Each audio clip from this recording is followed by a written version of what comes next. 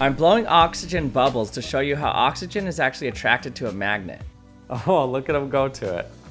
That's because oxygen is actually paramagnetic, which means it's weakly attracted to a magnet. Magnetic bubbles. Whoa. This happens when the random electron spins align with the applied magnetic fields.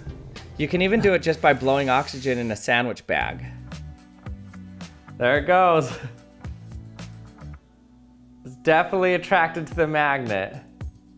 Does that mean that there's slightly a higher concentration of oxygen around this magnet than there is elsewhere in the room? If you get a strong enough magnet, it is actually possible to get a higher concentration of oxygen around the magnet than elsewhere in the room. In fact, in 2007, there was a paper published on a novel method to enrich oxygen in air using magnets.